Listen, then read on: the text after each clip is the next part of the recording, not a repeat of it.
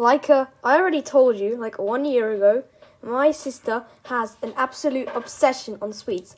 Every time we go to the local store, not sponsored, uh, I always have to buy her lollipops. Like Skittles exist, why lollipops?